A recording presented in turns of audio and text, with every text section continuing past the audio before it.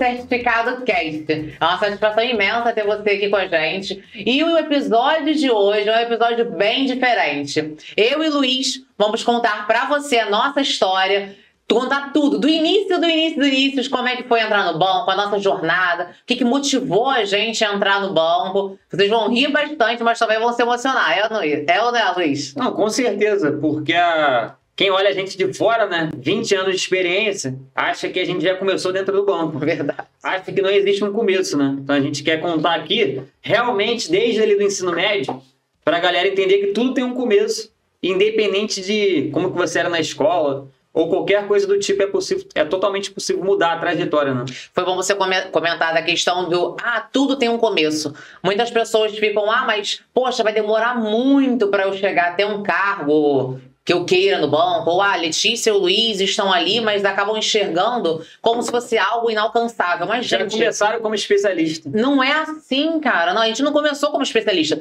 Teve toda uma trajetória. Para tudo tem um início. Então, aceita o seu processo. Se você já está começando com aquele auto-sabotador, ah, mas vai demorar muito, o processo é longo, eu estou atrasado, não tenho mais tempo. Esquece isso, todos esses seus sabotadores. Tô me sentindo velho. Tô me sentindo velho, não há mais tempo para mim, o banco não me quer mais mais. E a gente tem tantos cases comentando de alunos nossos, né, que independente da idade, independente da, da classe social, do que ele vivia antes do antigo trabalho, conseguiu entrar pro banco através do conhecimento. Então, ó, calma, que aqui nesse podcast vai ter muita informação, muita coisa boa e a gente vai eliminar esses teus pensamentos negativos que não existe tempo, que não tem idade, que você não vai ser visto pelo banco, esquece isso. Porque hoje você vai entender como é que foi a nossa trajetória e você vai se ver nela também. Não, eu acho engraçado, tu tocou nesse ponto, eu lembrei aqui, é, até me surpreende. Eu sei, a gente sempre fala que é totalmente possível, qualquer pessoa ingressar no banco, né? Independente de onde ela tá. Só que chega cada história que a gente fala, cara, realmente, olha só. Chegou o relato recentemente do nosso aluno Matheus, né? Lá do Fábrica de Bancário, que ele operava escavadeira. Escavadeira. Reto de escavadeira. Aí ele mandou a foto dele operando e a foto dele dentro do banco. Ah, eu fiquei muito emocionada quando eu vi essa foto. Ele colocou, né? É, saindo. O texto dele foi assim: saindo do banco de uma escavadeira para uma agência bancária. Para o banco para... do banco. Cara, tem noção? Eu, fiquei, eu mandei mensagem para ele no privado, que eu fiquei muito emocionada com, com o que ele postou com o relato dele. Porque é isso, gente. Ele tinha esperança de se tornar bancário, de mudar a estrutura de vida dele. Ele teve o conhecimento, apostou nisso, fez o investimento. E hoje ele tá lá dentro da agência, feliz, alegre. E ainda falou para as pessoas: é, de fato, acredite nos seus sonhos, corra atrás, que vai dar certo. Você só tem que ter atitude e dar o primeiro passo, né? E quantos cases, né? O Diego, que era coletor de lixo, o Everton, de quase 40 anos, é, que já rodou de Uber também, né? O João, que passava cabeamento de rede. Mais diversas pessoas que a gente já entrevistou ao longo do tempo, né? Entrevistou que eu falo porque a nossa aluna, eles dão um relato pra gente sempre, né? Então, surpreendente, né?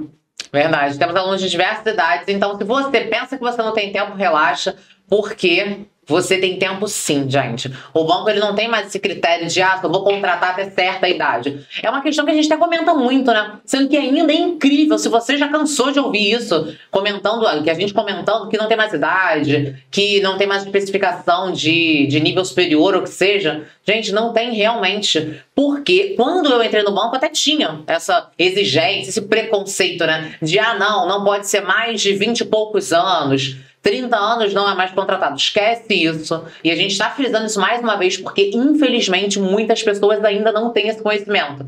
E é por isso que a gente também está aqui para poder quebrar esse tabu, trazer essa esperança para vocês, porque de fato é possível, a gente acredita nisso. É por isso que o meu certificado existe, porque a gente acredita que mais pessoas podem ser inseridas no mercado financeiro, independente da sua idade, independente da escolaridade que você teve, do trabalho que você tinha antes, se tem experiência, se não tem experiência, da faculdade que você faz, do ensino médio que você teve, independente disso, a sua realidade que você projeta para o seu futuro pode ser totalmente diferente. Porque a gente viveu isso. Você vai aprender hoje nesse podcast que a gente viveu isso. O Luiz tem uma realidade totalmente diferente da aleatória. minha, aleatória. E a gente conseguiu construir a nossa carreira no banco. E, isso foi um motivo, trouxe um, uma inspiração para a gente poder construir o meu certificado. E até hoje, quase quatro anos depois, estamos aqui, né? Não, e é importante que tu falou que realmente, antigamente, tinha um limite de idade, né? Tinha. A gente não tá aqui vendendo mentira. Tinha um limite de idade antigamente, Era até no 25. Não, era até 24 anos. Quando eu Algumas entrei era 25. pessoas conseguiam com 26. Quando eu fiz a Dinâmica em Grupo, tinha uma menina de 26 anos e todo mundo ficou. "Ah, Nossa, ela não vai entrar, ela já tá velha na Dinâmica em Grupo. Depois eu conto pra vocês. Então a gente traz para mostrar que realmente tinha e que não tem mais, né? A gente tá falando. Desde a pandemia, não existe qualquer tipo de limite de idade, tá? O limite está dentro da tua própria mente. Bota isso na tua cabeça, beleza? E eu vou contar aqui para vocês a minha trajetória. Eu até anotei aqui para não esquecer, não esquecer nada importante, que vocês vão ver. Porque tem gente que olha, ah, Luiz, especialista em investimentos, nerd, crânio, sabe tudo de investimento, CDF. Só que, gente, minha trajetória Era um ótimo aluno, É, CDF. só tirava 10 em matemática, tem que ser bom em matemática. Minha trajetória é totalmente aleatória, cara. Não. E eu era uma pessoa preguiçosa, não era focada, tirei vários zeros. Então, por incrível que pareça, pra- aí realmente é possível qualquer pessoa, né? Riscou na hora de eu contar, eu espero que minha mãe não veja. Mãe, se você estiver vendo, eu era uma outra pessoa antes, quando eu contar minha parte, tá? Já vou te avisar aqui agora. E hoje eu sou uma nova criatura, amém. E quando tirava 8, achava que tava bom minha mãe, ó, meu Rapaz. filho, obrigação e tá pouco ainda. Mas vamos lá, vou me apresentar aqui para Porque tem muita gente que vai cair aqui de paraquedas, né? Verdade. Meu nome é Luiz, tenho 29 anos, formado em engenharia de produção, pós-graduado em gestão estratégica em finanças, certificações CPA 10, 20 CEA e APQ Operações da Ancor. Essas são as certificações e a formação que eu tenho, né? Mas vamos lá, vou tentar voltar um pouco a trajetória para entenderem quem era Luiz, né? Lá na época da escola, ensino médio fundamental, é o que eu falei. Era uma pessoa que era muito tímida, não tinha muitos amigos, né? Gostava muito ali de ficar jogando videogame, ficar trancado dentro do quarto de casa. Parecia, sei lá, não falava Parecia muito adolescente que é hoje, né? Que É, a maioria hoje, dos né? adolescentes de hoje, né? Então eu não gostava muito realmente de interagir com as pessoas, não tinha vontade. Gostava de ficar ali no meu mundo de videogame, computador. Várias vezes virei várias madrugadas, ficava até de manhã jogando. Aí minha mãe, quando acordava pra trabalhar, eu fingia que tava, tava dormindo. Aí voltava, tava virado, né? Então, na época, era uma pessoa tímida, falava pouco e não tinha nenhum foco. Zero foco na vida. Eu lembro que até os 14 anos ali, mais ou menos, totalmente aleatório, sem pensar no futuro, só vivendo ali a infância para adolescência, né? Só jogando, achando que a vida era só jogo, né? E eu lembro que lá no ensino médio, quando eu comecei, eu arrumei um estágio na LERJ, aqui no Rio de Janeiro. Para quem não sabe, a LERJ é a Assembleia dos Deputados, aqui no Rio de Janeiro, né? Então eu com 14 para 15 anos, eu fui fazer estágio. Eu saía da escola meio-dia e pouco, eu estava na parte da manhã, e pegava um ônibus de duas horas. Demorava duas horas para chegar no centro do Rio, para trabalhar lá na Assembleia, né? Sendo que, pô, 14, 15 anos. Todo mundo da escola ia para casa de alguém, tomar banho de piscina, todo mundo ia para Gandá, eu ficava lá na escola enrolando, ia no lanchão, né? Ficar desenrolando com a galera. E eu tava lá, indo duas horas por dia de estágio, mas também remunerava bem na época. Eu ganhava mil reais com 14 para 15 anos. Isso em 2000, Era uma 2009. fortuna, né? Em 2009. Uma criança com mil reais também só gastava com besteira, né? Então eu comecei a tomar um rumo ali, comecei a criar uma responsabilidade ali, né? Eu, nessa jornada de duas horas para ir, duas horas para voltar, ou seja, quatro horas só de trajetória, por mais que o estágio fosse só quatro horas, era de duas às seis, duas da tarde às seis da noite, eu saía meio-dia e chegava em casa às vezes nove horas da noite. Pô, 15 anos.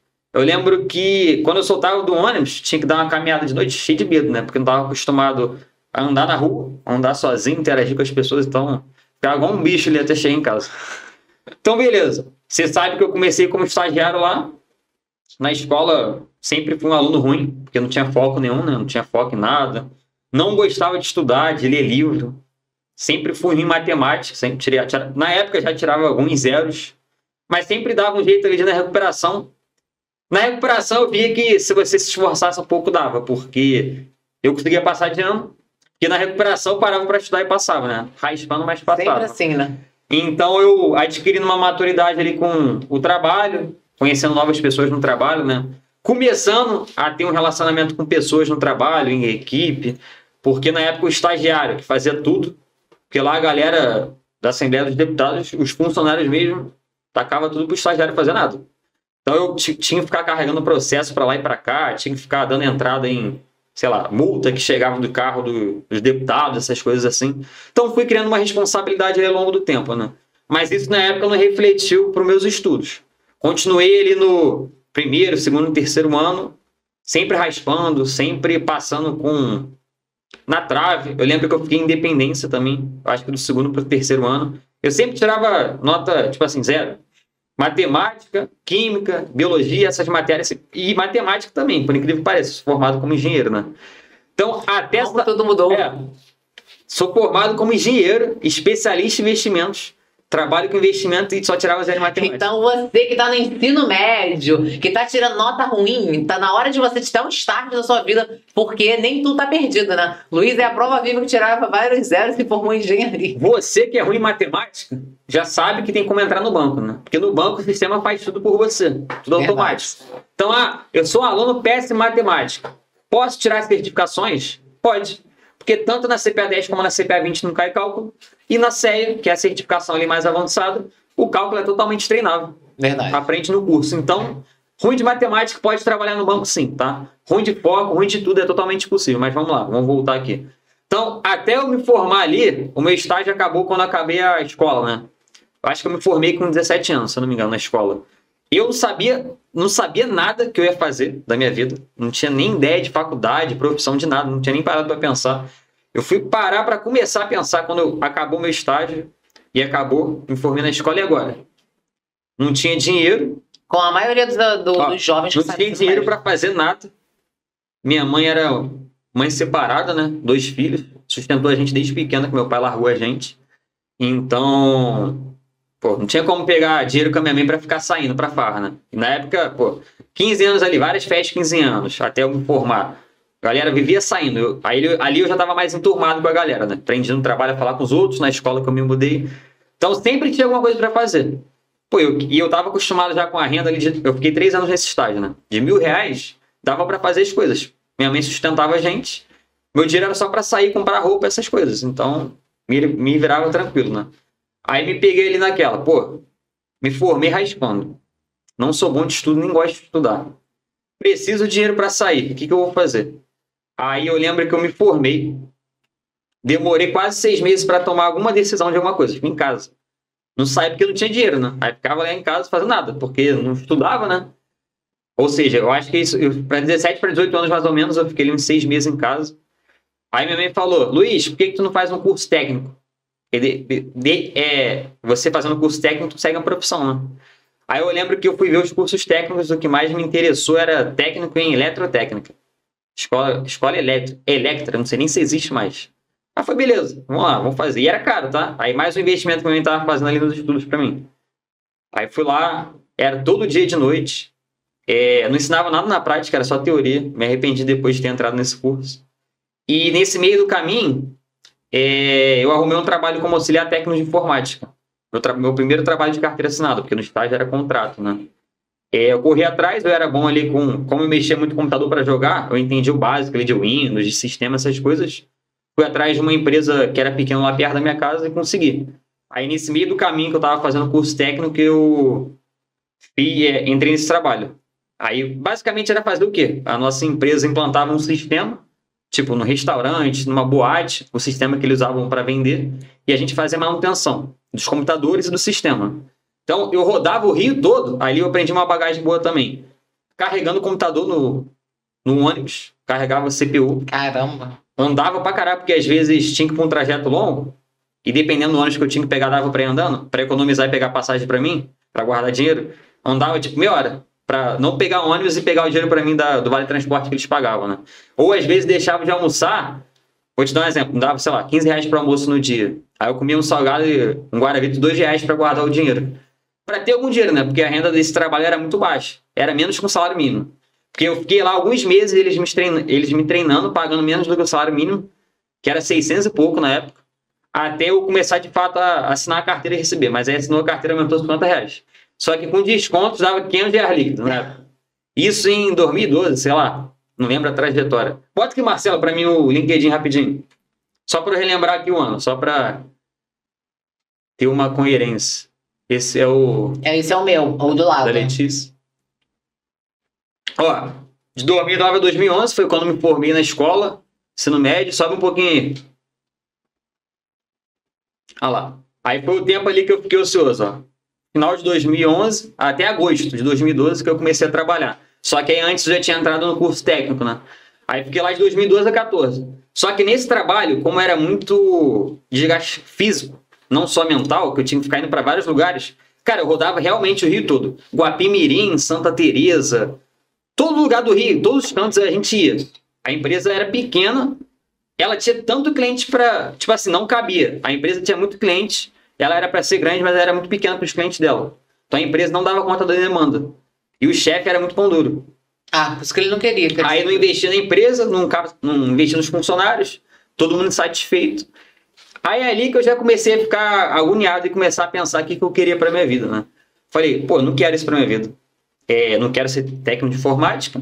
Tô aqui só por acaso para ter uma renda, para poder fazer as coisas, mas eu tenho que tomar um rumo, né? No meio do caminho, eu estava fazendo curso técnico, né? Eu já vi que não era aquilo que eu queria também.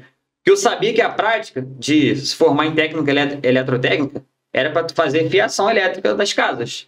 Qual o trabalho braçal com isso daí? Eu não tinha, nunca tive vontade de fazer trabalho, trabalhar com físico, né? Queria escritório, trabalhar sentado no sistema, até porque eu joguei. Molezinha, né? A vida toda jogando videogame no computador. Sempre imaginei no escritório. Todo mundo sonha com isso, né? Sonho Molezinha, americano. né? Ficar Sonho no americano. escritório, no ar, no computador, né? Aí eu tava pensando o que, que eu poderia fazer pra, pra poder melhorar ali, né? Queria sair daquela realidade que era. Pô, foi, aqueles anos ali foi bom de aprendizado. Criei maturidade maior ainda, mas queria mudar, né? Aí eu lembro que quando eu me formei, eu acho que o curso técnico foi um ano. Eu formei lá em 2013, final, no meio de 2013. Aí eu falei, pô, não quero seguir isso. Fiz o curso técnico à toa. Mais um dinheiro que minha mãe gastou, tem que dar um jeito, né? Aí eu falei, pô, eu vou começar a ver com o ensino superior para começar. Eu vou começar a pagar, né? Porque eu trabalhava. Tem que começar em 2014, porque tava ali quase no final do ano de 2013, né? Só que antes de eu tentar ir para a faculdade privada, eu ainda gastei dinheiro alguns meses com pré-vestibular no final de 2013. Fiz no Miguel Couto na época. Só que, pô, nunca gostei de estudar. Então eu fiz pré-vestibular para nada. À toa Ia para lá, aí meio-dia saía, embora, ia para os outros, sei lá, qualquer lugar, mas não estudava. Aí acabou que eu fiz o Enem. Eu lembro que em matemática, eu tirei 800 e pouco. Eu fui bem em matemática no Enem, por incrível que pareça. Mas, tipo, redação, as outras matérias, fui muito mal. Aí não passei nenhuma pública, nem para nenhuma matéria em nenhum lugar. Falei, não vou ficar esperando de novo, eu já sei que não gosto de estudar, não vou passar no Enem. Em 2014 eu vou começar a faculdade. Aí na minha época eu pensei o quê? Pô, quero sair desse emprego. Então eu vou ver qual faculdade tem um estágio mais rápido. Aí na época engenharia tava bombando, né? Verdade, teve uns anos que engenharia bombou mesmo. Engenharia Petróleo e gás. era tipo assim, tu entrou, arruma estágio primeiro período. Na minha época. Civil e engenharia de produção. Só que civil, eu não tinha, eu não gostava de civil, porque, querendo ou não, civil vai muito pra obra, né? Pra muito. Vai muito pra prática, né? Eu queria mais escritório. Engenharia de produção pega muito a parte de administração, né? Então eu falei, vou fazer engenharia de produção, que se eu arrumar estágio, vai ser para fazer projeto, essas coisas das empresas, né? Eu falei, beleza.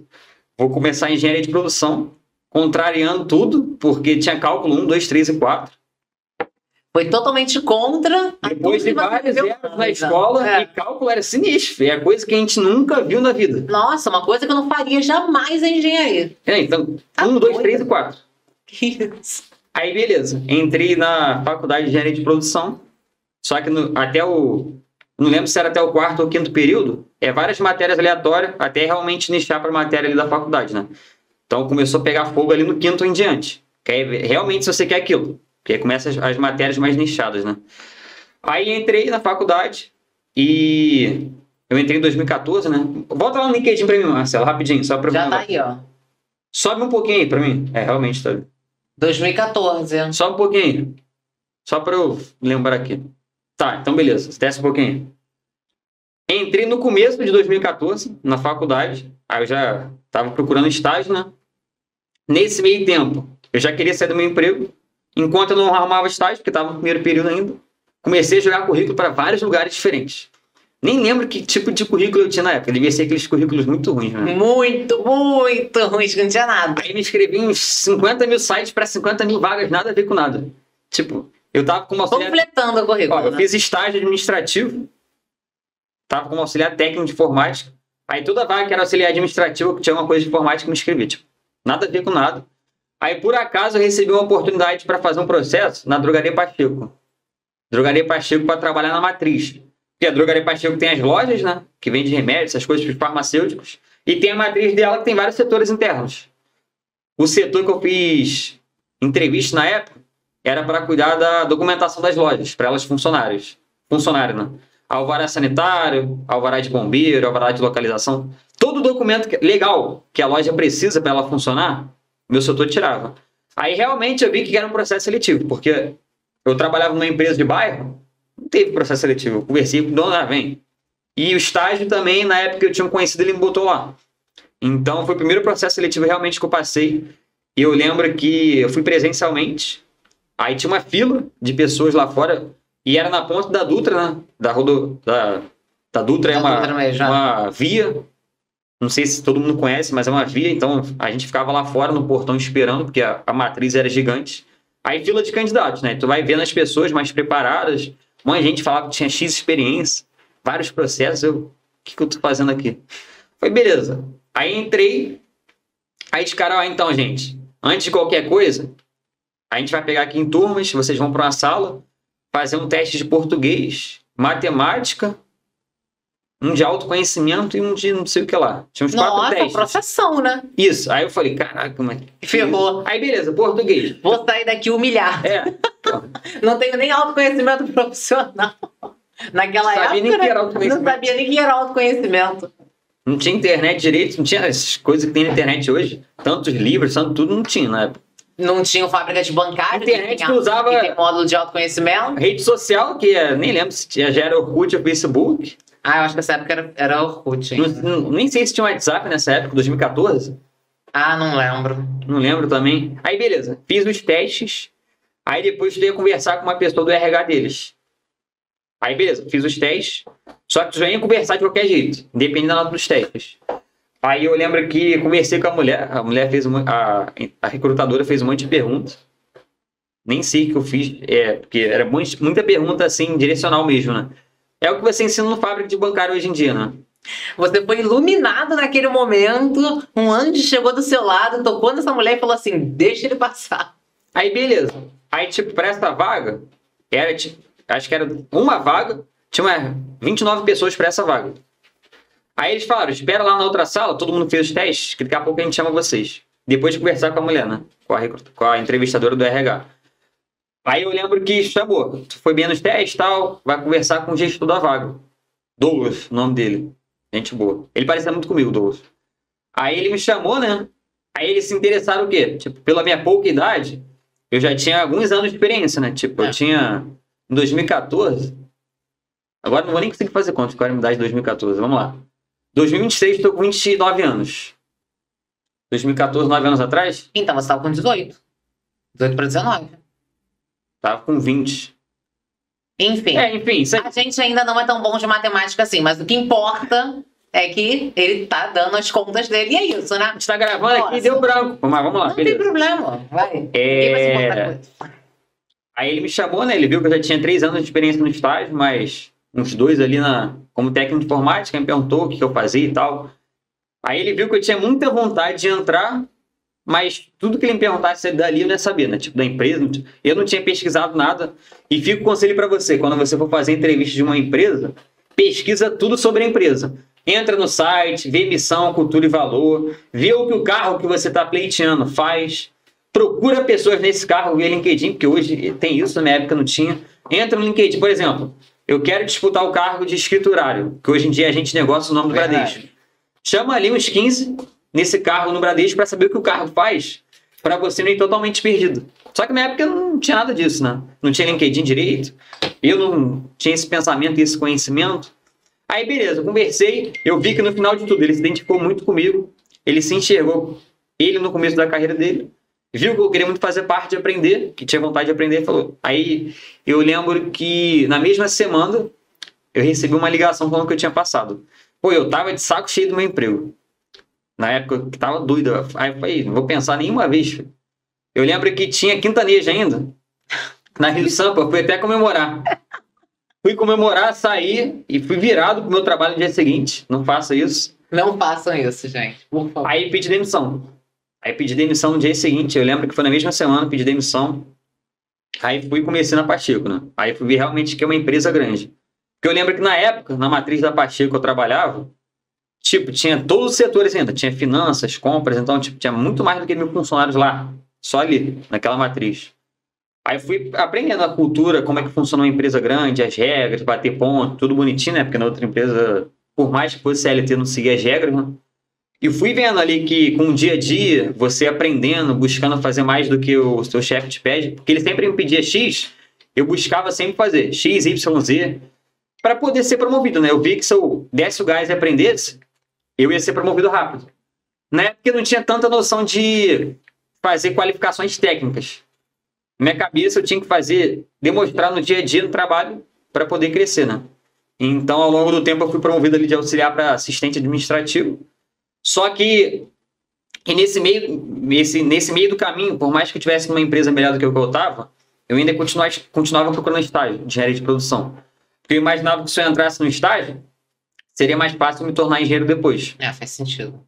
E na época, estagiário de engenharia ganhava bem também. Só que a engenharia, nesse mesmo período, foi caindo ao longo do tempo.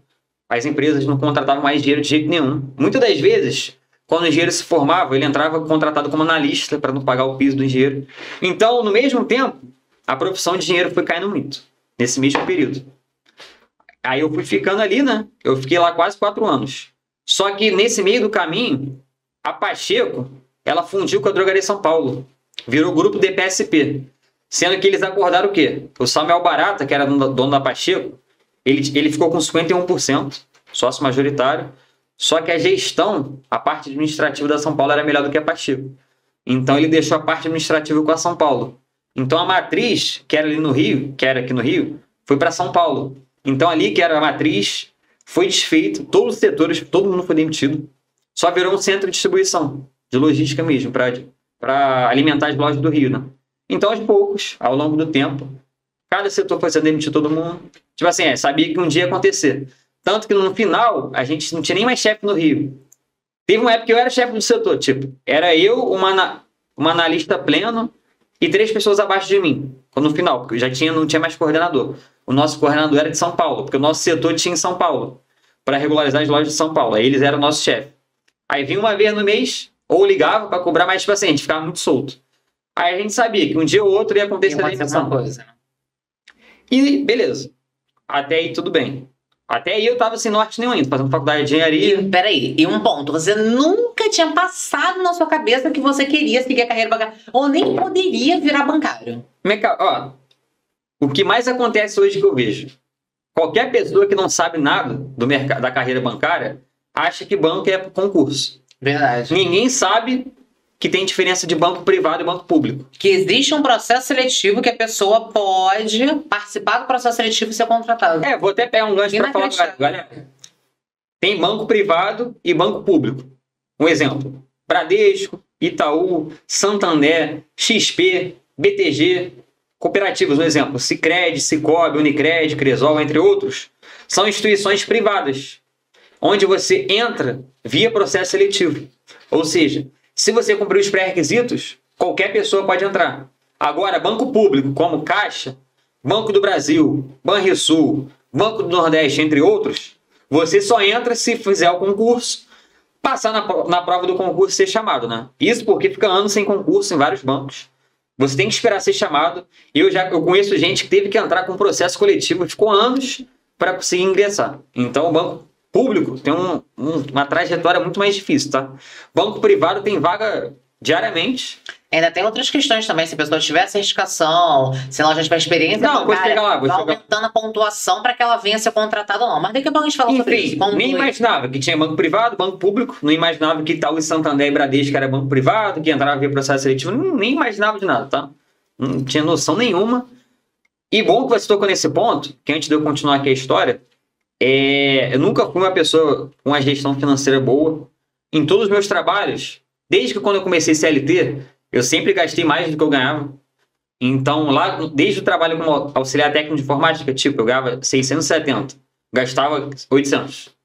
Aí, quando aumentou para mim, pouquinho lá na Pacheco, gastava 2 mil. Porque lá o banco já começava a dar cheque especial, né? Então, eu sempre fui uma pessoa que nunca tive uma gestão financeira boa. E nunca tive conhecimento nada de finanças, não, tá? Poupança, investimento, taxa Selic, inflação, essas coisas, não sabia nada de nada. E além de tudo, era uma pessoa totalmente enrolada com as finanças. O que eu acredito que é a grande maioria dos brasileiros, né? Tanto que tu vê o índice de inadimplência, né? Verdade. Principalmente pós-pandemia. Beleza. Muita gente tem motivo para ter ficado com o nome sujo, mas muita de- a maioria é desleixo. Desorganização. Falta de mesmo. controle, achar que o dia, é, a vida vai acabar hoje e tem que gastar tudo hoje. dane-se. Imaturidade, né? Imaturidade, falta de E a gente não tem educação financeira na escola, né? Educação financeira, exatamente. Então a gente sai. do- Se a gente ficar a vida toda sem bus- buscar esse assunto, tu nunca vai saber o que, que é uma taxa Selic, o que, que é um investimento de renda fixa, que dá para você controlar e guardar dinheiro. Então, pegando esse gancho também, só para falar que eu também era uma pessoa que era totalmente descontrolado. Sempre usava cheque especial e cartão de crédito.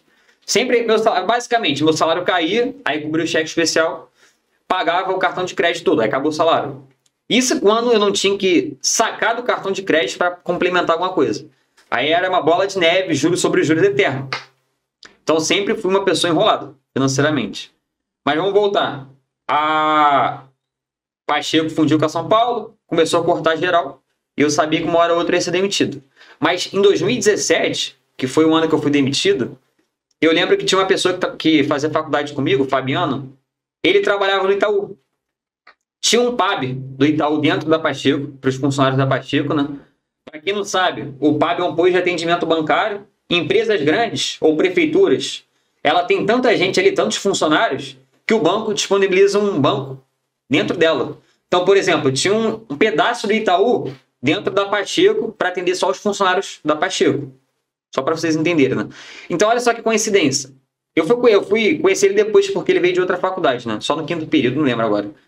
É, a pessoa da minha faculdade, gerente de produção da minha sala, ele trabalhava como gerente lá no Itaú da minha empresa. Coincidência. Aí eu lembro que eu vi ele, tipo assim, ele chegava na faculdade de noite sempre arrumado, ele não era tão velho, chegava sempre arrumado, eu vi que ele tinha um carro maneiro. Aí eu comecei a ficar curioso, né? Pelo menos curioso, porque eu via quando eu chegava no banco, todo mundo arrumado, né? E a gente todo chão de fábrica ali, por mais que eu trabalhasse no departamento interno. Aí eu comecei a perguntar pra ele mais ou menos, sondar, né? Mas, sem parecer muito interesseiro, porque eu via que ele ficava meio assim de falar, né? Mais ou menos como é que funcionava um, um bancário, quanto que ganha. Aí eu lembro que quando ele falou de vale alimentação e refeição, pô, quase caí pra trás. Porque minha empresa era vale transporte, olha lá. E olha lá, Se vira. A Tinha, maioria das tinha empresas. plano de saúde com, com coparticipação e tava muito bom. Ganhava 1.600 na época, bruto. Dava uns 1.200 líquido. Vale transporte, plano de saúde com coparticipação, ou seja, tudo que tu usa, tu paga. Aí eu lembro que, na época, ele falou, tipo, ele ganhava muito mais do que o salário mínimo.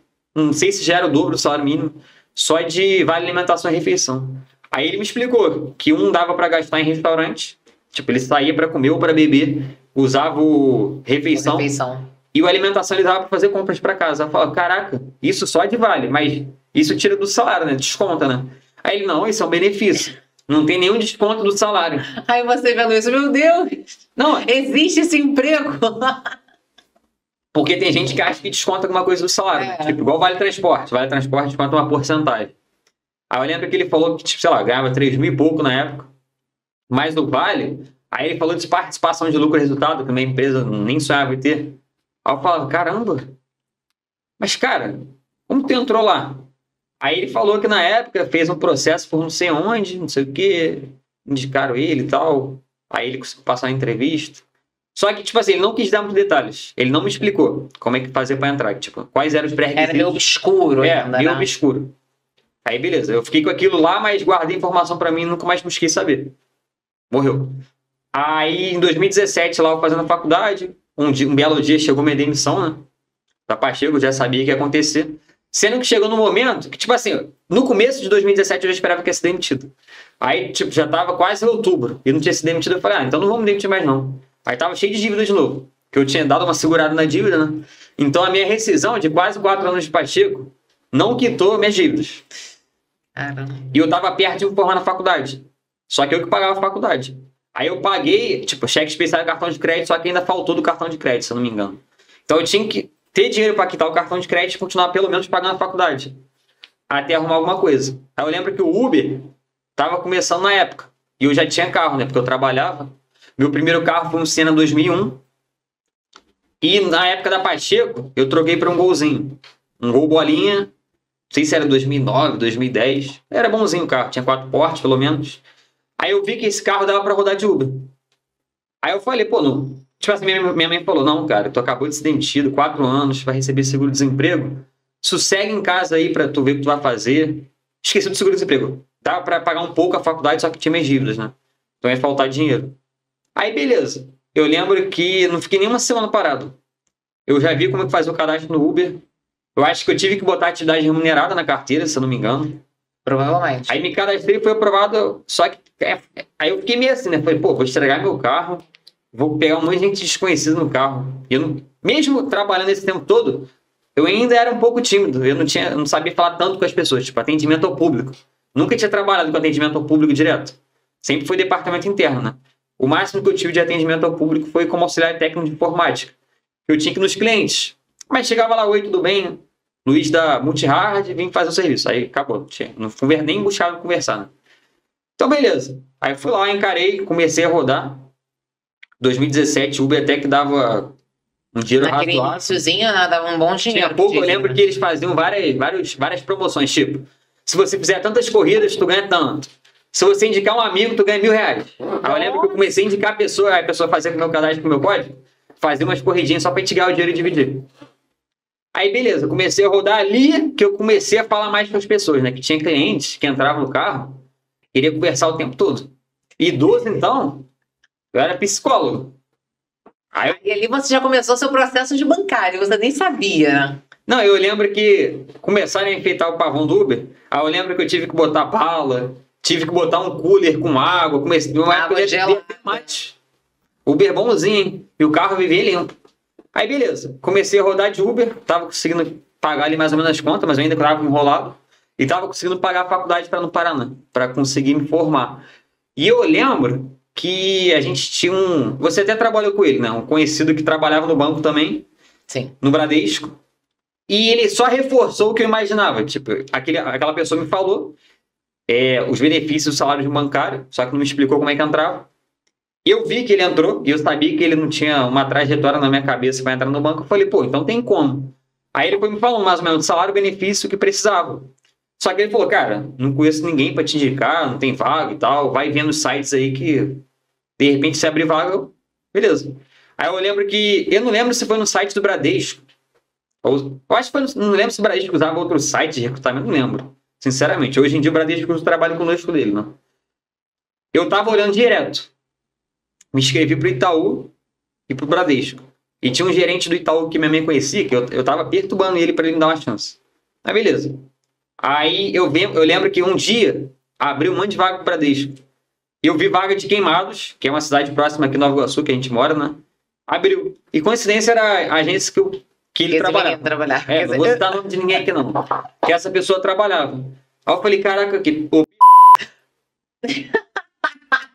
Não, É, já citei, já era. gente, tem um meme que é muito bom, que é exatamente assim. Depois a gente corta o nome. Mas vamos lá, vamos lá. Deixa eu lá. É, o Pi abriu vaga na tua agência. Aí ele, sério? Não tô sabendo de nada. Eu falei, ah, abriu no site. Vou me inscrever aqui e ver, e ver o que, que dá, né? Aí ele, beleza, se inscreve que eu vou ver o que eu consigo fazer pra você, né? Aí eu lembro que era meio obscuro. A gente preenchia todas as informações, se inscrevia.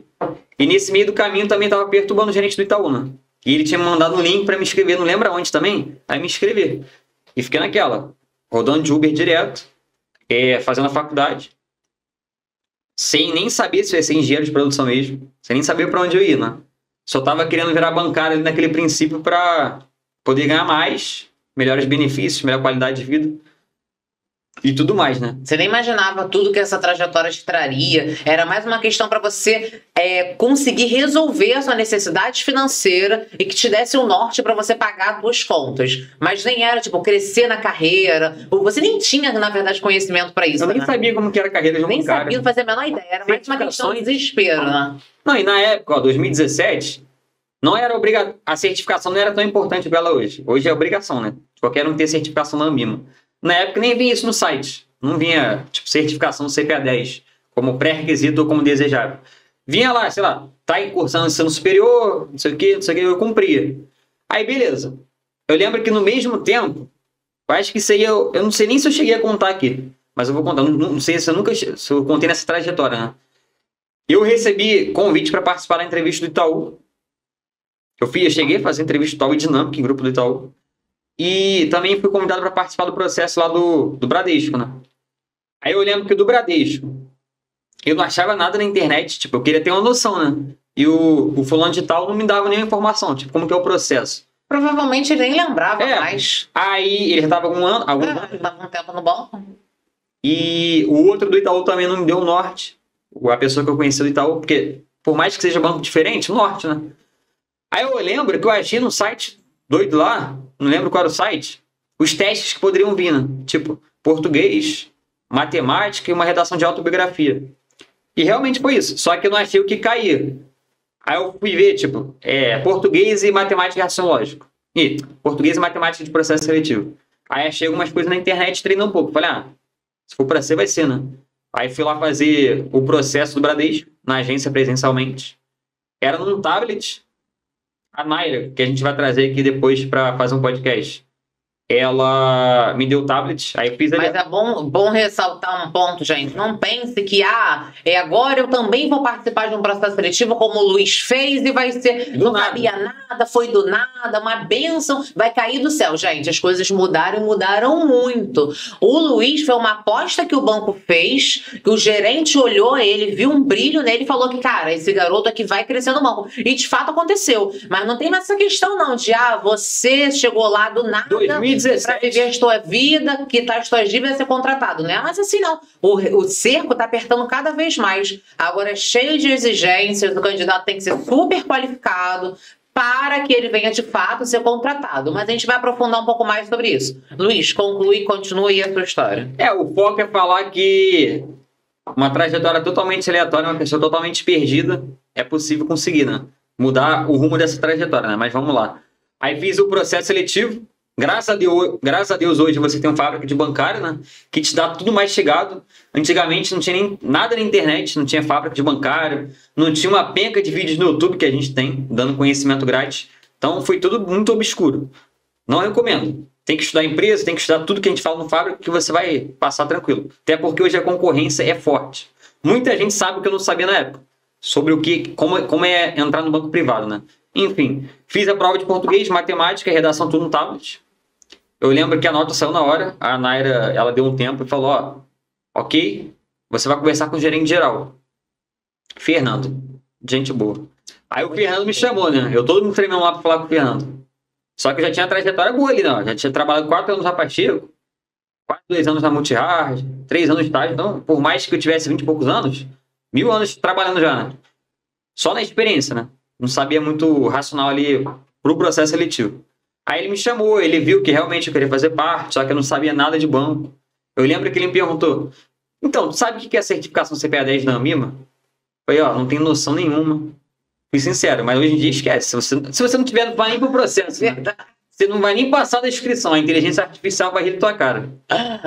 Mas vamos lá. Aí ele me perguntou. Ele- eu lembro que ele fez uma pergunta, que eu nunca esqueci essa pergunta. Tu tá vendo aqui a agência? A agência, na época, o caixa. Todas as agências tinham caixa físico dentro da agência, né? Hoje em dia não tem tanto. Agência lotadona, maior filão para entrar, para ser atendido pelo Classic, né? Pela mesa de atendimento. Você acha que a agência desse jeito é bom pra gente? Eu falei, ótimo, pô. A agência cheia assim deve ser muito bom, né? Que vocês fazem negócio e tudo mais. Ó. Falou, olha, Luiz, olha só. A maioria da fila aqui é gente que vai pro caixa. Eu tenho certeza que 90% não é cliente do banco. Então eles só estão gerando custo pra gente. Tem o custo por, por cada autenticação, tem o custo do funcionário. Então isso aqui é péssimo. E se você entrar aqui, o seu trabalho vai ficar lá fora impedindo que eles entrem. Tem noção disso? Você entende? Falei, tenho. Você vai ter que fazer um trabalho tão bem feito lá fora que além de você tentar captar produtos pra gente lá fora, com colete de possa ajudar, você ainda tem que melhorar o fluxo aqui dentro. Falei, não, entendo perfeitamente, eu vou aprender, não sei o que e tal. Falei um monte de coisa genérica, mas aí ele viu que eu tinha muita vontade. E ele, igual o Douglas, lá da Pacheco, ele se enxergou em mim no início da trajetória, né? Aí, beleza. Fiz lá a entrevista. Imaginei que não ia passar. E de- logo depois eu fiz uma entrevista com um gestor do Itaú também. Foi muito mais tranquilo do que com o Fernando. Ele perguntou só sobre mim mesmo. Depois fiz uma dinâmica em grupo, que eu achei que eu não fui bem também. Não teve nada de simulação de venda, foi mais, foi mais se apresentar para todo mundo. Aí a pessoa lá falou algumas coisas, a gente respondeu algumas coisas, mas nada demais, tudo pessoal. Aí fiquei nessa, rodando de Uber agoniado. Pô, será que eu passei? Será que eu não passei? Eu lembro que eles falaram, ó, retorno via telefone, vão te ligar. Eu lembro que eu ficava agoniado. Qualquer ligação oferecendo produto da Claro, da TIM, tudo eu atendia. Saía atendendo, tava rodando de Uber, celular, saía atendendo. Não era envio e-mail. Aí eu ficava naquela, pô, será que realmente me dar um feedback se eu, se eu não passar? Às vezes eu ficar aqui esperando à toa, né? Eu tava cheio de esperança, né? Porque eles falaram o salário benefício. Não lembro agora quanto que era, mas era muito bom. Pô, era muito mais do que eu ganhava como Uber. Conseguia tirar 200 no máximo no dia bom de Uber, na época. Era o suficiente para sobreviver, né? Porque eu tava todo enrolado ainda. E lembrando, não sabia nada que era taxa Selic, que era poupança, não sabia nada de nada. Se o cara me perguntasse qual o número do banco para transferência, nem imaginava. TED, não sabia nada mesmo. Beleza, só pra galera entender que hoje você não vai fazer isso, né? Mas É. é possível mudar o rumo. Aí, beleza, eu lembro que na quarta semana, esperando, um mês esperando, na última semana eu não tava nem conseguindo mais rodar de Uber. Tava tão agoniado que eu tava, fiquei em casa, não queria mais rodar. Eu mais, eu mais ou menos sabia, conversando com algumas pessoas que eu conhecia lá, que eu ia receber um retorno. E eu sabia que tinha uma pessoa no Bradesco que, foi, que era melhor do que eu. Tipo, tava mais preparada é, com qualificações técnicas. Não lembro se tinha pós-graduação mais experiência, não sei. Tinha certificação, eu acho, já da Anbima. Falei, pô, deu ruim, mas de repente também Itaú, né? E eu lembro que. Eu não lembro se foi a Nara ou o Fernando que me ligou. Aí eu lembro que eu cansei de ligar. Essa semana que eu tava em casa o dia todo, que eu não rodei, eu cansei de atender ligação igual um doido, botava o celular no rolo máximo. Aí pensava que era, não era. Ou às vezes começava não era. Aí quando ela me ligou, eu falei, ah, deu ruim, pô, não é possível isso aqui. Aí ela falou que eu passei. Falei, caraca, não sei o quê. Porque a ficha só cai depois, né? Ela me ligou, eu desliguei e fiquei normal. Tava esperando tanto quando aconteceu o fato. Aí depois que a ficha caiu, eu falei, caramba, passei, não sei o quê. E por incrível que pareça, depois eu ainda passei no Itaú também. Nos dois, é. Então eu não sabia, não. Ninguém sabia, porque eu esqueci de falar isso na minha trajetória. Só que incrível, eu não sabia nem como que entrar no banco privado, não sabia nada e não consegui passar nos dois. Mas aí, beleza, eu já tinha aceitado o Bradesco. Eu lembro que demorou mais umas duas semanas até eles assinarem minha carteira e eu poder começar, né? Aí eu comecei lá em 2017, final de 2017, foi em novembro, se eu não me engano. Colete de posso ajudar no caixa eletrônico. E eu lembro que alguém me falou, acho que foi a Carol. Leva um caderno para tu anotar tudo que te falam, para tu não fazer besteira. Que aí qualquer dúvida, tu olha o caderno para não ficar perguntando toda hora. Mas se precisar, eu tô aqui.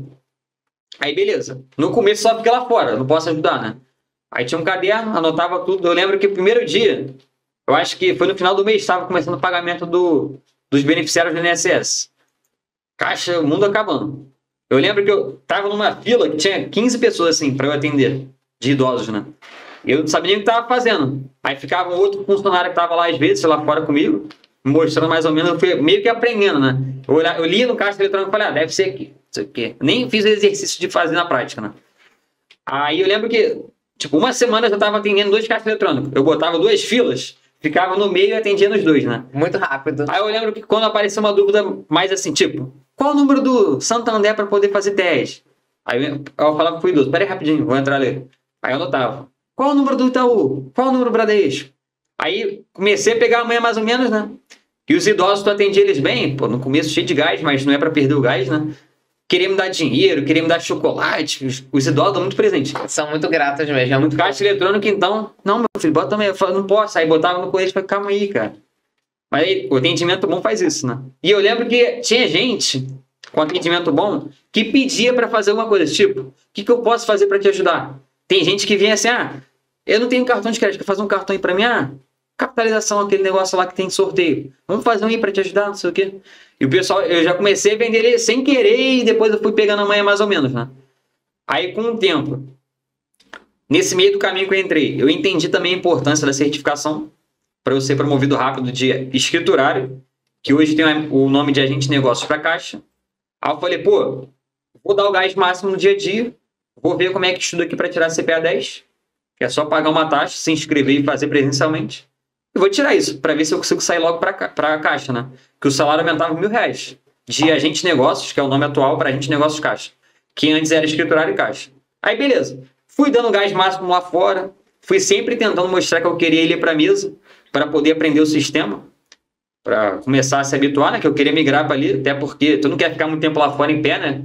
Porque cansa, tipo, ficar. Beleza, o trabalho do bancário inicial é 6 horas por dia, né? Na minha época era de 10 às 4 e 15 com 15 minutos para intervalo de almoço, né? Que na verdade são meia hora, que estende um pouquinho. Que é impossível, gente. Fala aí. Comer em 15 minutos. Engolir a comida, né? Mas tem gente que tem que ser 15 é. minutos. Porque na verdade não é almoço, é um lanche. É um, né? banco, Até porque, pô, gente, tu vai trabalhar de 10 às 4, 15. Tem como ter uma hora de almoço, né? A maioria dos trabalhos aí você entra 8, sai 5, sai 6. Trabalha sábado, o banco é de segunda a sexta. Então, realmente, Pô, eu tava acostumado a trabalhar de dia até de noite. Eu lembro quando eu entrei no banco, eu achei até estranho, tipo, eu acordava tarde e chegava em casa cedo. Eu tava com muito tempo ocioso. Aí eu comecei, quando eu entrei, né? Aí eu falei, pô, vou começar aqui aproveitar logo para estudar certificação. Aí eu lembro que chegava em casa quatro e pouca. Só que quando eu comecei a estudar o assunto, Sistema Financeiro Nacional, Banco Central, Conselho Monetário, falei, meu Deus do céu, que isso? De novo, escola? Não gosto. Que, que eu vou fazer? E eu lembro que na época eu dei sorte, tá? Eu pulei o conteúdo e falei, ah, não vou estudar nada não, vou fazer só simulado que falaram que dá pra passar só com simulado. Naquela época, né? É igual a prova do Detran, tu vai focar em simulado e vai passar. Na época, ainda com sorte era possível fazer isso, 2017, ó. Tem seis anos. Passei com 70%. Acertei 35 na questões. Risca. Tipo assim, Deus, acertei na risca só estudando por simulado. Não recomendo a ninguém hoje em dia, se fizer isso, vai reprovar. Não, é impossível. Daí, se você fizer isso, é um tiro no seu pé. A Ambima muda a prova toda semana. Não. Banco de questões gigante. Ela quer que tu reprove pegadinhas. Então esquece. Lógico, né? vai ter que filtrar realmente quem sabe quem não sabe. E ela não tá errado. Aí eu lembro que eu não sei qual foi o período exatamente. Até três meses de banco. No período de experiência mesmo, eu tirei CPA 10. E eu lembro que... Se não me engano, você tinha um mês só de banco. E eu lembro que tinha funcionários de caixa na agência que não tinha que CPA 10. Muitos, na verdade. Eu lembro que o, o gerente geral que o contratou ficou todo bobo. Aí o regional deu parabéns pra ele. Eu Tinha uma foto sua na eu regional. Eu lembro que o regional, me, Chamou, me chamou. Não, quem passar na CP10 vai vir aqui tirar foto comigo. Eu fui lá cheio de medo, né? Aí você chegava na regional, tinha uma foto do Luiz abraçado com o regional. Não, aí, pô, eu não tava nem acostumado com isso direito. Aí eu falei, pô, vou na regional, agência mega, a 406, né? Gigantona. Aí perdidão lá, lá em cima, aí subia. Aí o assessor dele, não, calma aí que já vai falar contigo. Aí quando eu vi o regional apareceu Deus, né, pra mim. Caramba, não sei o que, parabéns, meu filho, não sei o que, né? Continua isso aí, não sei o que. Imitou até o jeito dele falar. É. Me, me, ele. Ele Acho que ele era baiano. Ah, mas enfim, é. foi? Aí me deu parabéns, pô, fiquei destaque ali, né? Fiquei no alvo. Aí fui promovido rapidinho. Eu lembro que em até seis meses de banco eu saí de escriturário pra caixa, né? Que hoje a gente negócio de caixa. Pô, já comecei ganhando mais que o dobro do que eu ganhava quando entrei no banco é, com vale alimentação e refeição.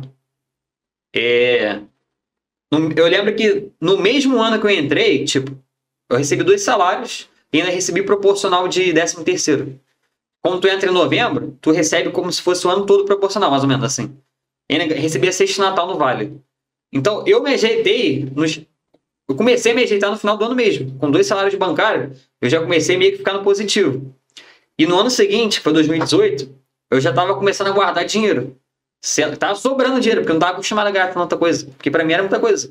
Eu morava com a minha mãe, tava ganhando ali, tipo, se juntar o vale, mais do que o triplo que eu ganhava. Então foi mudando realmente minha realidade. Tanto que eu troquei de carro. No começo de 2018 eu falei, ah, Vou trocar de carro, vou pegar um Onix. Em pouquinho, em menos de seis meses, você conseguiu trocar de carro, Tirei CPA 10. dívidas, tirou uma certificação financeira, promovido. foi promovido. Cara, é isso que eu falo, gente. Se tornar bancário. É, a gente não fala isso à toa, porque a Letícia tá falando, o Luiz está falando, gente. Cara, depois que você entra banco, se você tem uma realidade de vida que você recebe um salário que um ou dois salários mínimos, ou que você não tem vale alimentação, vale refeição, que isso acontece com a 90% da população brasileira. Por quê? Só 10% da população brasileira recebe um salário acima de 3 mil reais. Hoje, bancário, o salário. 10%? Só 10%. Sério? Sério. Recebe um salário acima de 3 mil. É, abaixo. É, 10% recebe um salário até 3 mil reais. Caraca. Não, isso são dados mesmo. É pesquisa. Se você pode pesquisar na internet agora, isso é verdade. Não tô falando balelo, não. Então você tem noção que 90% da população toda recebe menos do que isso. Você se tornando bancário, vai ou não vai mudar a sua estrutura de vida? A sua estrutura financeira, a sua estrutura familiar, a estrutura de toda a sua vida. Porque não tem como você retroceder a partir do momento que você se torna bancário que você recebe um salário desse.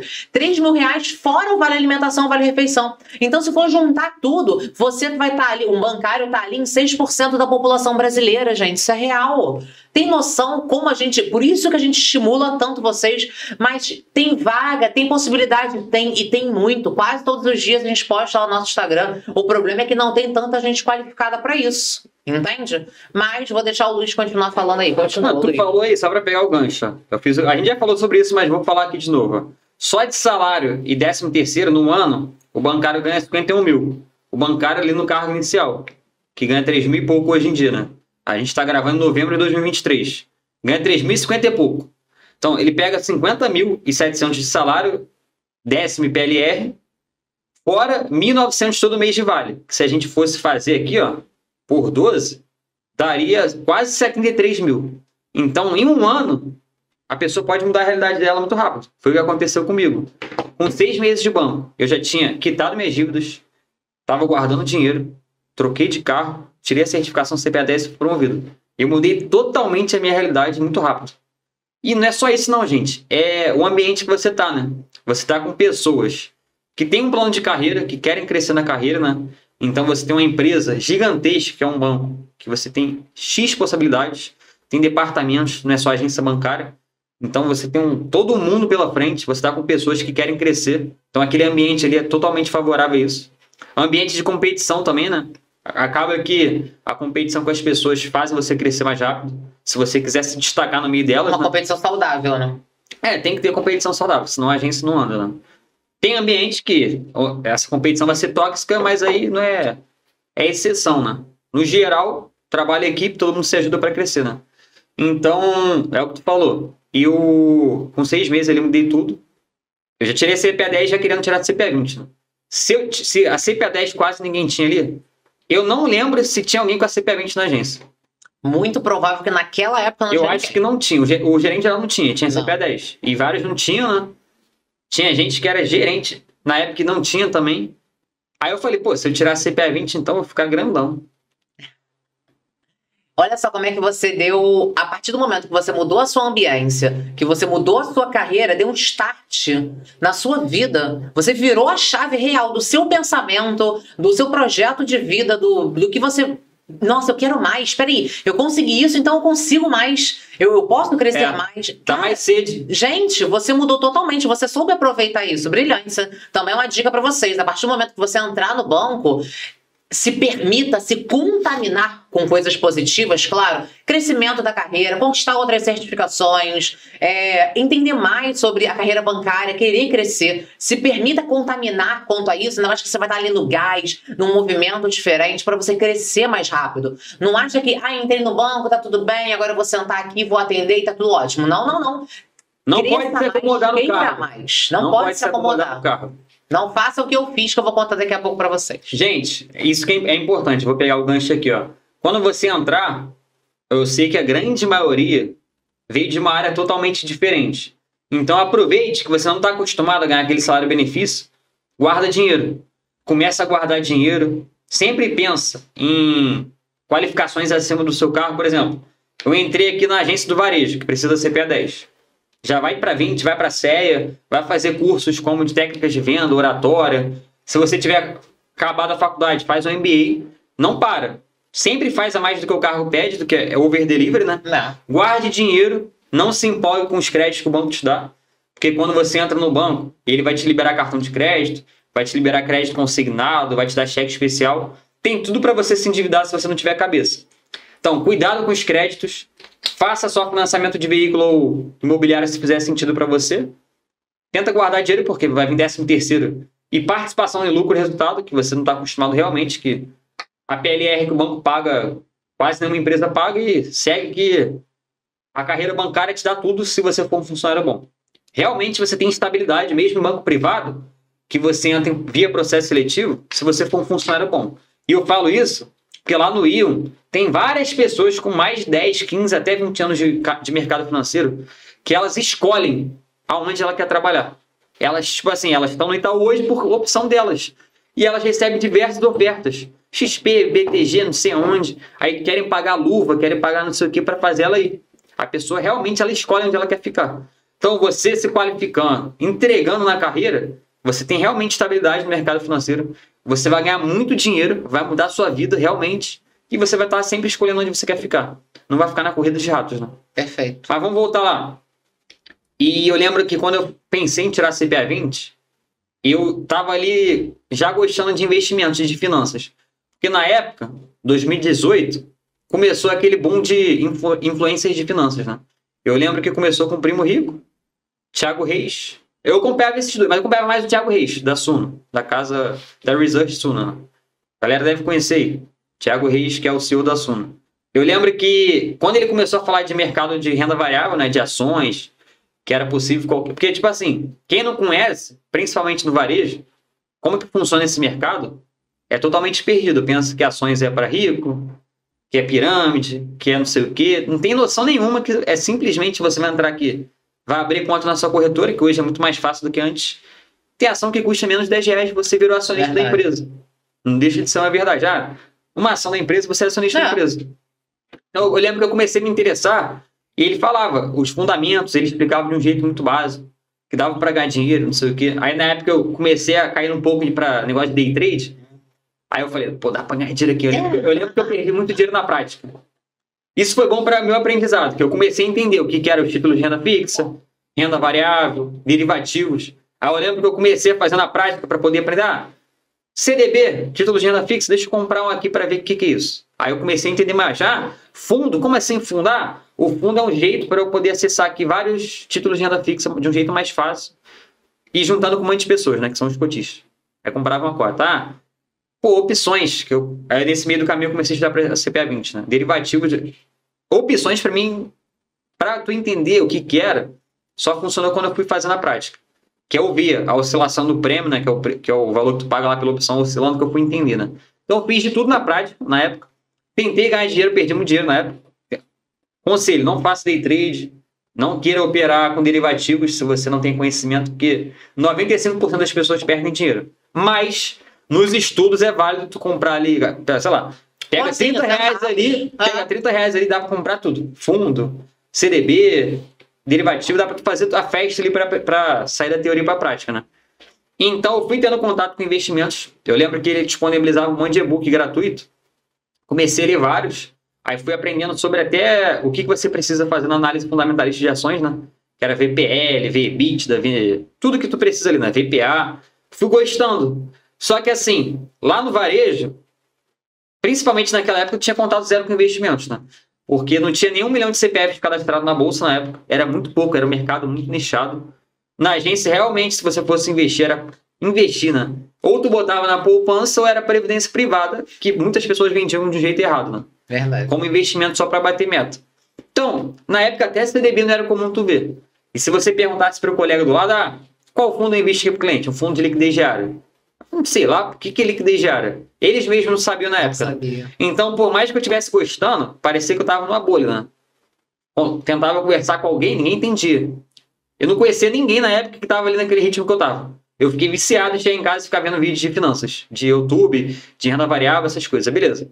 Aí isso começou a me despertar o interesse por estudar mais para CPA 20, né? Aí na época eu comecei a estudar para CPA 20 é, só que eu já estava sabendo tanto na minha cabeça de finanças, de investimentos, que eu falei, ah, vai ser moleza. Pô. Eu vou estudar aqui, de novo, no mesmo erro. Vou estudar meia boca e vou passar porque eu já estou sabendo tudo na prática. Eu lembro que eu não estudei direito, não estudei dias seguidos. Não fiz tanto simulado e fui fazer a prova. Aí eu, eu acho que eu fiz no final, de, no final daquele ano. Tenho quase certeza, fiz no final de 2018. Aí eu, eu acertei 60 e poucos por cento na minha primeira CPA 20. Aí isso me deu um banho de água fria. Aí eu falei, caramba, eu tô achando que eu sou quem? Eu não posso. Quem eu, quem eu acho, quem acha que eu sou eu para tirar CPA 20 se ninguém tem na agência? Não adiantou nada, eu não tenho conhecimento aqui, aí, sei lá, desanimei. não cometa esse erro. Eu fiquei ali uns, acho que uns três meses para fazer a prova de novo. Fiz outubro, novembro, fui fazer só em fevereiro, se eu não me engano, tá? Alguma coisa desse tipo. As datas aqui podem estar meio erradas, mas é, foi mais ou menos isso. Então eu procrastinei um tempo, só que eu avaliei que eu realmente tinha estudado de um jeito errado. Negligenciou a prova, né? Aí, é, eu subestimei a prova, subestimei os estudos. Aí eu falei, não, por mais que eu faça na prática, eu sei um monte de assunto picado. Vamos aprender aqui tudo realmente, que realmente vai melhorar meu trabalho no dia a dia, né? E nesse meio tempo, sempre, só para frisar aqui para a galera entender, sempre entreguei tudo que me pediam na agência. Nesse tempo já tinha conseguido ficar fixo na mesa, atendendo como se fosse um gerente de pessoa física, fazer abertura de conta, empréstimo, cartão de crédito, consórcio. Já tinha perdido o medo do não. Aquela pessoa tímida já estava ali atendendo, tranquilo vendendo. Isso eu aprendi na prática do banco. Eu entrei no banco com uma pessoa tímida sem saber falar direito. E to mudei totalmente a parte do banco ali na prática, né? Então você que é tímido, fica tranquilo aqui na prática tu vai perder a vergonha rapidinho. Quando começar a descobrir as metas, vai começar a tomar não e você vai ver por que você tomou não e vai melhorando para tomar, para levar o sim, né? Porque todo sim veio através do não, né? Verdade. Pode, vir, pode ser que o sim venha direto, mas a maioria vem no não primeiro. Tem que tentar, cara. Tem que ofertar. Tem que conversar tem que com o cliente, tem que conhecer o cliente. O não você já tem, tem que correr atrás do sim. O Lucas até falou isso lá no outro podcast, né? Oferte. É oferte, exatamente. Planta semente que um dia você vai colher. Pode ser que tu colher hoje, amanhã, daqui a um mês, mas vai colher. Então, beleza. Aí eu tava ali fazendo tudo que eu achava que podia lá no meu trabalho do dia a dia, mas eu queria a certificação para me dar um diferencial mais. Eu não tinha me formado ainda. Eu acho que eu me formei na faculdade nesse ano e uns dois meses depois eu tirei a CPA 20. Aí eu me preparei realmente. Eu lembro que eu um mês seguido estudando muito mesmo, todo dia, bonitinho. Aí depois só simulado, com calma, sempre. Eu, eu aprendi o que a gente falou hoje lá na prática. Sempre não todo denunciado, Todas as alternativas explicando por que a resposta certa é certa e porque as outras são erradas. Aí, lembro, passei com 92%. Que arrasou!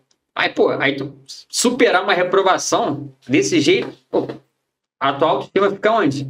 Aí tu fala, pô, posso dominar o mundo. Eu lembro que foi um negócio surreal. E ninguém tinha CPA 20 lá. E poucas pessoas que eu conhecia, na verdade, na nossa cidade, tinham CPA 20. Verdade. Do Rio, na verdade, na regional do Rio. Aí, beleza. Eu sabia que ia ser um feito grande dentro do banco. Aí, por incrível que pareça, um ano antes de eu tirar a certificação, tinha um conhecido que tinha criado um Instagram para ajudar as pessoas a passar em concurso público. E por alguma coisa que eu não sei até hoje, eu estava deitado nesse dia que eu passei meia-noite, era uma terça-feira, se eu não me engano. Falei, pô, vou, tirar, vou criar aqui um Instagram para ajudar as pessoas nesse dia que eu passei na CPA na segunda vez. Porque eu tive que estudar sozinho. Eu queria, se eu quisesse alguma coisa mais chegada, eu não achava na internet. Tipo, um resumo de um assunto, ou alguém explicando para poder agregar meu conhecimento, né? Vou criar um Instagram para ajudar as pessoas a estudar para certificações. Pelo menos vai servir para mim estudar para CEA. Que eu tirei a CPA 20 e falei, ah, já vou emendar na CEA, não vou parar não. O conhecimento está fresco, a CEA vai ter que aprender um pouco mais de assunto e os cálculos. Beleza, com estudo é totalmente possível, né? Nem um bicho sete cabeças, né? Aí eu lembro que foi em fevereiro de 2000, na verdade eu falei o ano errado, 2020. Fevereiro de 2020 eu tirei a CPA 20 que foi quando eu criei o Instagram, tá? Fevereiro de 2020. Dois meses depois veio a pandemia. Os anos aí que eu falei tá errado, mas dá para entender. Abril de 2020 veio a pandemia. E quando eu ia fazer a prova, que seria abril de 2020, que eu tava fazendo pra CEA, tava postando no Instagram todo dia. Não botava cara, era só print de imagem, né? Mas nessa altura do campeonato já tava ajudando pessoas. Tava aumentando o número de seguidores organicamente. Muita gente falava comigo no direct, me agradecer pelos meus resumos, né? Era eu certificado Ambimo o nome. Depois mudou para meu certificado. Aí abril de 2020, pandemia, todo mundo trancado dentro de casa. Eu lembro que eu tinha comprado três viagens para fazer. Eu ia para Machu Picchu, ia ficar em Lima e Cusco, acho que cinco ou sete dias. Ia para Natal e tinha comprado um resort em Búzios, tipo, ia viajar as férias todas. 30 Nossa, dias de férias. Aí, banho de água fria. Fiquei 30, é, eu tirei 30 dias de férias para ficar um mês dentro de casa. E ficou um mês dentro de casa? Um mês dentro de casa só brigando. Enfim. Aí abril de 2020, a Ambima adiou as provas, né? Sem previsão total nenhuma de voltar às provas. Tudo trancado no mundo todo, aquele medo, né? Muitas pessoas falecendo. Graças a Deus, ninguém da minha família faleceu por causa de pandemia, mas foi sinistro. Então, até o crescimento ali um pouco da. Eu estava com a CPA já era um destaque total, né? Até o banco um pouco travou naquela época. Congelou tudo, né? Congelou contratação, congelou promoção, congelou tudo. Mas eu lembro que naquela época, ó, deixa eu pensar aqui, fevereiro de 2020. Tem como tu botar no LinkedIn, Marcelo, rapidinho? Só para eu não falar mais data errada, só um pouquinho. Só pode subir, pode subir. Para aí, para aí, calma aí. Tá.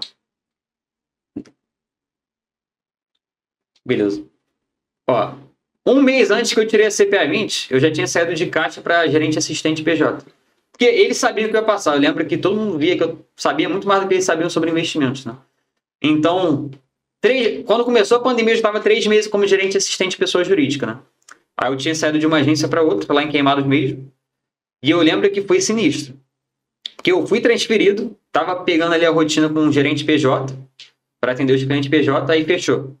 Fechou a agência. Eu lembro que começou a botar uma, uma galera de home office e uma galera na agência. A gerente só ficava de home office, então estava atendendo como gerente de pessoa jurídica. Só que antes disso, ficou tão. É, o isolamento ficou tão grande que tinha que ficar eu lá na rua, lá na rua, na porta da agência, com a máscara, com luva, uma, é, aquela máscara transparente, né? Controlando quem entrava no, na área do caixa eletrônico no sol. A gente tinha que fazer uma fila no sol, as pessoas tinham que esperar no sol. E eu lá no sol também lá fora. Tu imagina as pessoas, até elas entenderem qual era a gravidade do Covid. Pô, era um monte de Todo mundo reclamação. achava que era mentira, que era. Frescura, que a gente não queria atender. Ah, Nossa, essa fase foi O pessoal terrível. quase matava lá Eu e o. Luiz, a gente trabalhava nessa mesma agência nessa época aí. Quando eu fui pra lá, tu já tava lá? Já, ué. Eu já tava lá. Já tava lá? Há meses. Não lembrava, não. Tá, vamos lá então. Vamos voltar aqui. Aí eu ficava lá fora, filtrando, e ficava outro funcionário ali filtrando a porta da agência mesmo dentro do, do ambiente do caixa eletrônico. Né? E aquele período ali foi sinistro. Até voltar à rotina normal. Mas foi um aprendizado grande também, né? Lidar com as pessoas ali com situações difíceis, né? Aí eu lembro que o Instagram foi aumentando ao longo do tempo. Alguns meses depois eu te chamei para fazer parte, né? Eu vi que tava tendo muita solicitação de curso, que tinha que ser alguma coisa mais do que tava. Tanto que a gente começou a botar cara, foi crescendo a demanda. Lá em 2020 mesmo a gente lançou a primeira turma, CPA 10 e CPA 20, no final. De novembro. Mas aí realmente aconteceu as coisas em 2021, né? A partir de 2021. E eu lembro que eu fiz a CE nesse mesmo ano. Eu lembro que quando voltou a prova da Ambima, falei, não, é agora. Eu já, eu já tinha começado e parado de estudar várias vezes. Por mais que tivesse com o Instagram lá, ficar vários meses estudando é ruim, né? Outro conselho que eu te dou. CPA 10 e CPA 20, principalmente, é um estudo de curto prazo. Porque senão você esquece muito assunto. Porque é um assunto que tu nunca viu na vida. Um monte de assunto que tu nunca viu. É, se você não estudar dias seguidos, está em contato todo dia com o conteúdo, você esquece. Então, por exemplo, eu quero fazer a prova daqui a 25 dias. Marca e estudar os 25 dias até a prova. Seja sábado, domingo, feriado. Ficar nessa de estudar um dia sim, um não, um dia sim, três não, não funciona.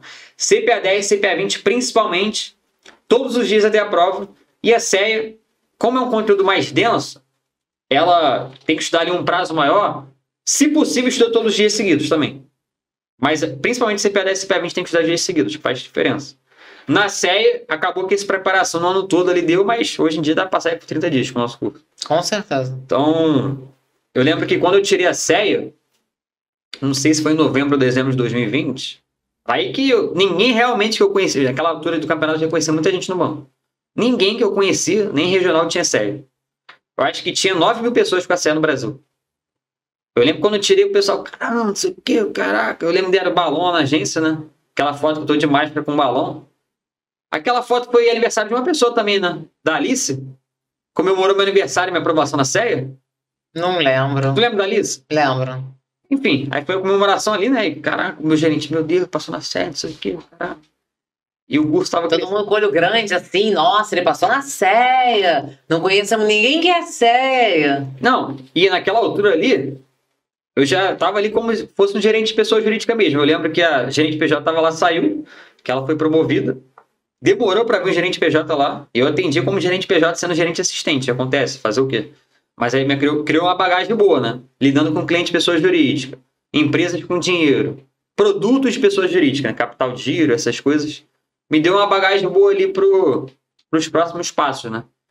Então, aquele período de pandemia de atuar como gerente assistente PJ foi, um, foi importante no meu crescimento.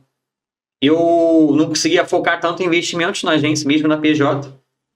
Mas a partir de quando eu tirei a CEA, praticamente, eu falei, pô, eu, sou eu tô com a certificação que me atesta a ser especialista em investimentos.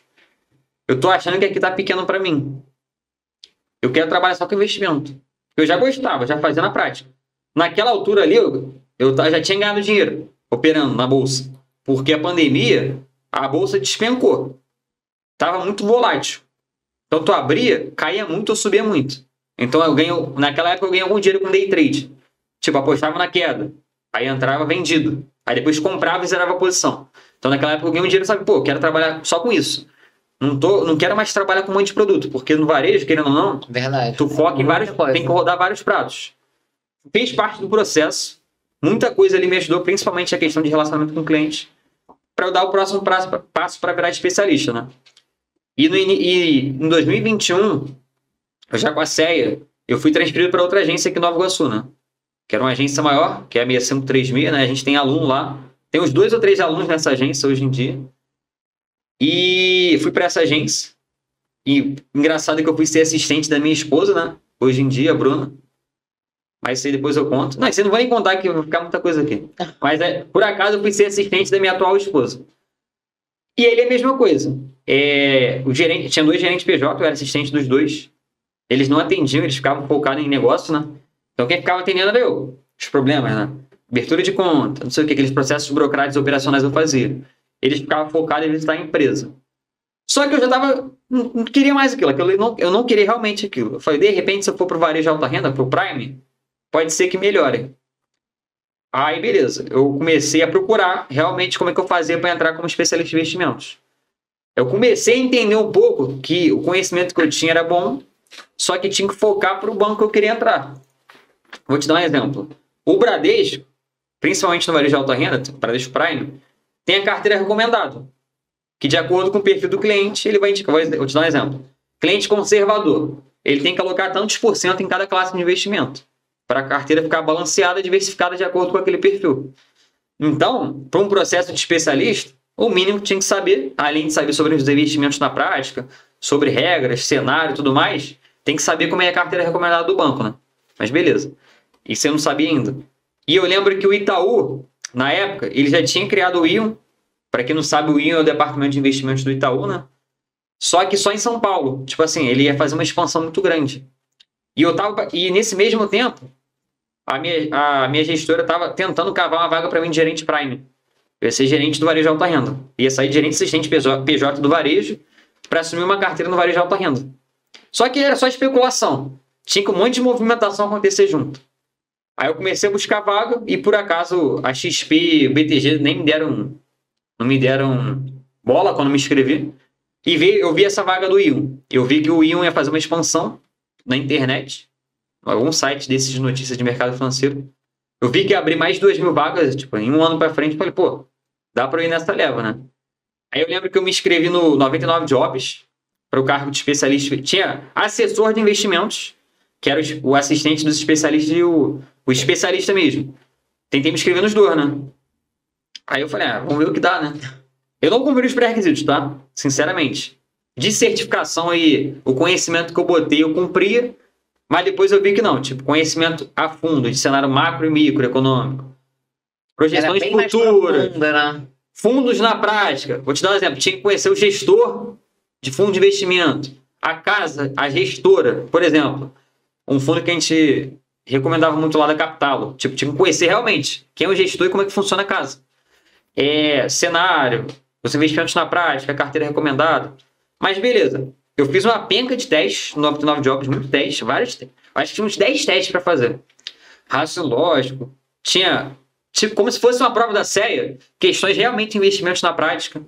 E tinha vários outros testes, né? Aqueles testes para mapear perfil. Vários testes. Só que eu falei, pô, não passei. Eu sabia que eu tinha acertado tudo do. Da, como se fosse a CEA, né? Do mercado financeiro, mas os outros não sabiam sentido tão bem, né? Essa altura do campeonato a gente estava ali já com vários alunos, ajudando muitas pessoas, né? Então a gente, transmitindo conhecimento, a gente sempre estava em contato com o assunto, né? Mas beleza. Eu lembro que demorou um mês para eu ter qualquer retorno. Eu me inscrevi no 99 Jobs e fiquei no escuro. E naquela época meu LinkedIn era montado bem, mas não movimentava tanto. Hoje em dia é impossível sem LinkedIn. Verdade. Chave mestre do mercado financeiro. E eu lembro que do nada, numa terça-feira eu estava trabalhando, eu acho que a pessoa do RH me ligou. Então, Luiz, tudo bem? Você se inscreveu aqui para a vaga de especialista em investimentos do Itaú e tal. Você passou para a etapa dinâmica em grupo. Amanhã de manhã tem disponibilidade? E depois uma, um bate-papo com o gestor com o RH? Eu trabalhava, eu falei, é, tem. Beleza. Aí eu lembro que naquela, naquela terça-noite, eu comecei a pesquisar as coisas. Falei, ah, sei lá, vou pesquisar aqui para ver o que eu consigo achar para não chegar perdido, né? É. E eu lembro que eu achei a carteira recomendada do Itaú. Então, no mínimo, eu sabia a carteira recomendada para os perfis. Eu imprimi, eu tinha perfil conservador, moderado, arrojado e agressivo. No escuro não ia ficar. Se eles me perguntassem na dinâmica, montar a carteira para o cliente tal, eu saberia. Baseado nos investimentos que eles recomendam. E comecei a olhar a projeção de taxa Selic, projeção de inflação, de dólar, de tudo. Por mais que a gente estude, quando tu vai na prática é diferente, mas só com a prática mesmo para poder aprender, beleza. Aí eu lembro que na hora do almoço, era uma hora dinâmica em grupo que eles falaram. Eu tirei a hora do almoço na hora da minha dinâmica em grupo. Aí um amigo meu me prestou a sala do escritório. Eu nem pensei em levar o computador e fiz no celular. Aí foi via Teams, né? Aí eu botei o celular num, num negócio desse assim. Aí eu lembro que ficou várias caras. Nunca tinha participado de nada assim de vídeo, né? Com várias pessoas. Hoje a gente faz live com um monte de gente. É, verdade. É... Mas ele nervosismo na hora. Não, aí beleza. Aí a, o gestor se apresentou, a pessoa do RH se apresentou. Aí todo mundo se apresentou, né? E tinha gerente Prime, tinha assessor da XP, tinha gente do BTG. A galera tinha experiência realmente com investimentos. E tava eu ali, gerente assistente PJ do varejo. Nunca trabalhei com investimento diretamente, né? Aí beleza. Aí eu lembro que deram um case e eu tinha pesquisado na internet antes. Falei, ó, no mínimo que eu vou fazer, eu vou falar. É. Vou, vou tentar sempre ser o primeiro e botar minhas ideias aí, né? Tomar cuidado para não falar uma coisa nada a ver com nada. Porque na dinâmica, eles não querem a resposta certa mas também não pode ser algo totalmente fora do script. Tem que participar e tem que demonstrar algum conhecimento ali. Se tiver um espírito de liderança, mostre. Não era meu caso, não precisou. Mas beleza. Aí eu lembro que deram um case para montar um perfil conservador, cliente tal, tudo mais. Aí eu lembro que já estava comigo. Tava, tava impresso comigo. Eu tinha gravado, mas estava comigo, dava tranquilo. Eles falaram, beleza, gente. Vou passar aqui, a gente vai fechar a câmera e vocês têm 20 minutos para discutir eles, para eles ficarem olhando. Aí eu lembro que começou, começaram a ficar quietos. Eu falei, então, gente, vamos lá. Perfil tal, vamos começar aqui a montar. Eu lembro que eu meio que liderei. Eu que dei a sugestão das porcentagens. Eu não botei igual do perfil que falaram, não, para tentar mudar alguma coisa, né? Aí, beleza, montamos, decidimos, discutimos algumas coisas, aí, aí beleza, vamos apresentar, né? Aí não foi eu que comecei a apresentar, não. Aí eu lembro que no meio do caminho, ele me o, o gestor perguntou assim: Mas, gente, tu não acha que faria sentido uma parte para o objetivo do cliente? Oferecer um crédito imobiliário? Aí o outro, ah, realmente, isso aqui é ele, gente, tem que pensar fora da caixinha, não sei o quê. A gente quer ver isso também e tal, mas vamos seguir aí que vocês estão indo bem e tal. Aí beleza. Aí acabou a dinâmica em grupo. Eu achei que tinha ido bem, mas não o suficiente para passar da galera que tinha muita experiência, né? Eles naquela altura não falaram quantas vagas tinham. Eu acho que era eu e mais cinco pessoas, seis pessoas. Aí, quando acabou, eles, mandar, eles mandaram um e-mail, ó. Para cada um, bate-papo de você vai ser tal hora. Tipo, com um gestor com RH. Foi em seguida, tipo, a cada tantos tempos era um. A um já ficou na sala e foi sendo em seguida a cada meia hora, sei lá. Eu lembro que quando chegou o meu era tipo 4 horas da tarde. Eu tava abrindo uma conta BJ. Aí o gestor me ligou via Teams, né? No celular. Saí correndo. A gente já tava fechada. Já tava fechando mais cedo por causa da pandemia ainda. Eu fui pra rua.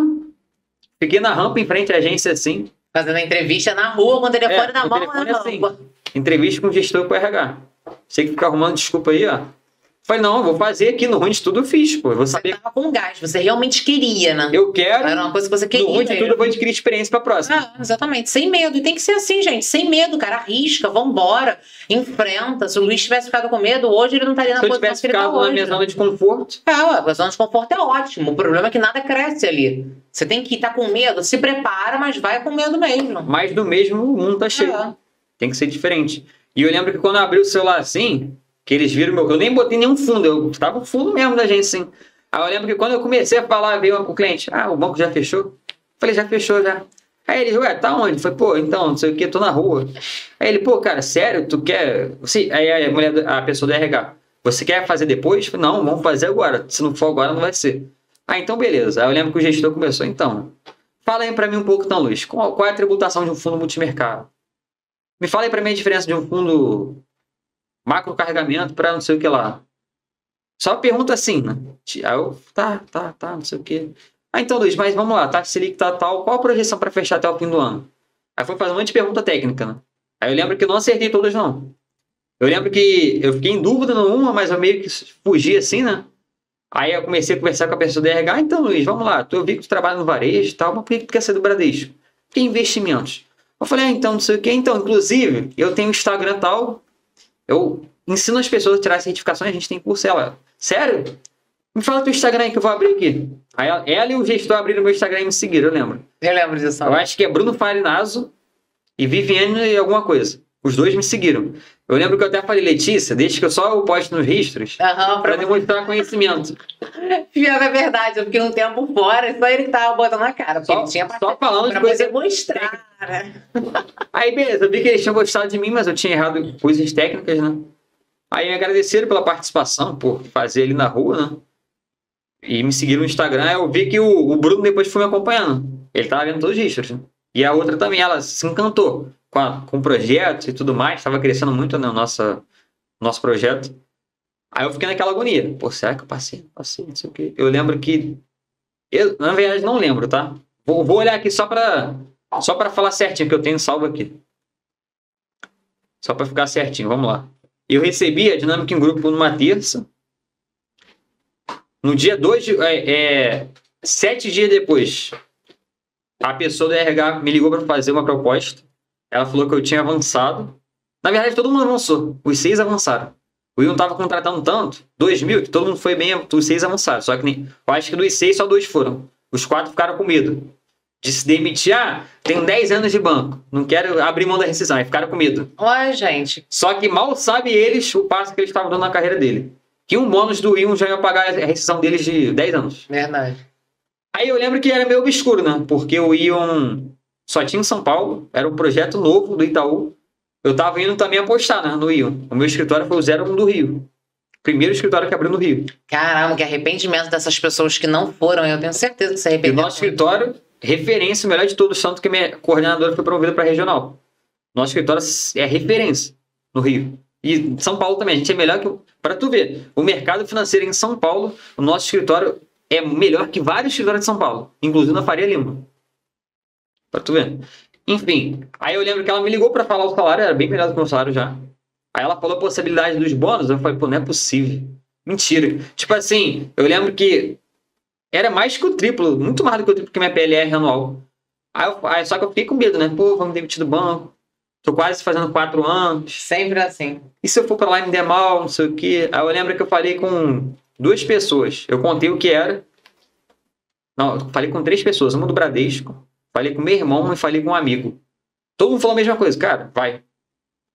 A pessoa do Bradesco, um dos Bradesco, falou, cara, vai. Você só gosta de investimentos. Você quer trabalhar só com isso?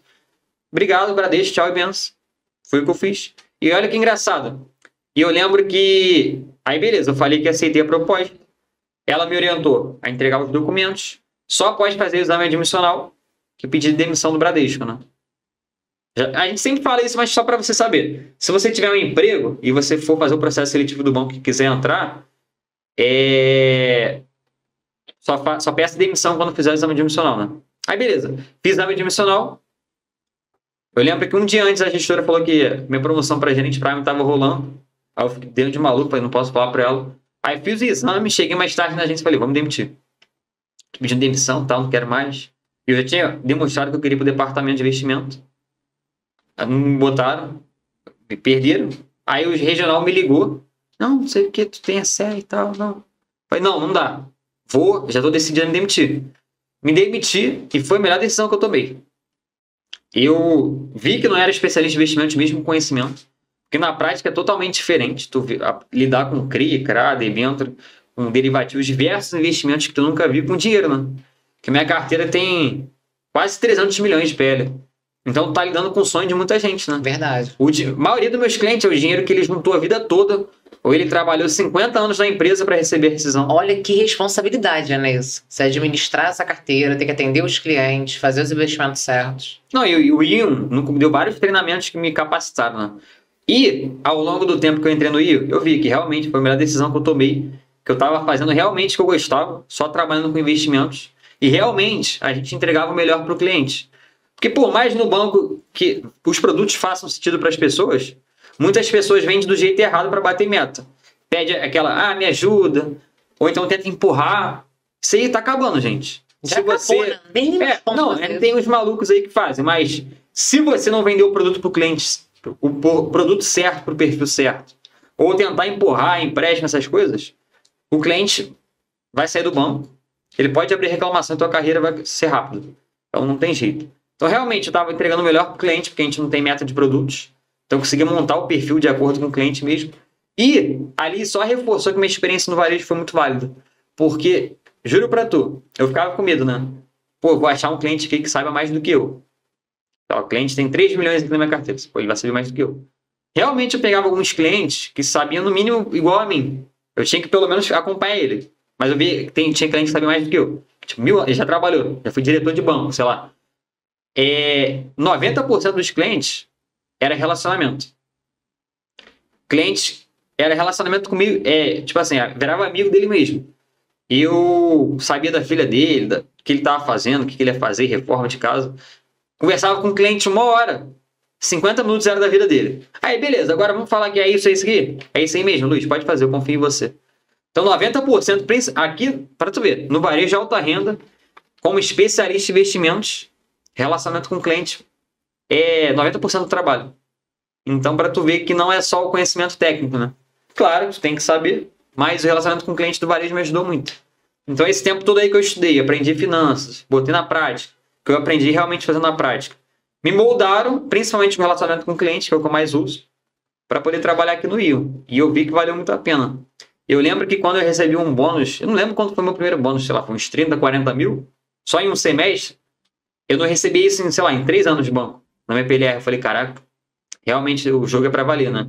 E quanto mais o escritório foi crescendo, o PL do escritório, e o nosso PL, e a nossa performance, foi aumentando tudo, né? Então, o, o último bônus que eu recebi foi 69 mil líquido. pô. Não, bruto, 69 mil bruto. Aí tu junta no ano aí, se pegar um bônus no mínimo igual, vai ficar no mínimo igual se você não for melhor. Se isso você não for melhor, né? está falando aí de 130 e poucos mil bruto, só de bônus. Fora, Fora 7 mil salário, de salário, fora fora, tudo. fora a alimentação. Então, gente, o banco mudou totalmente minha vida, né?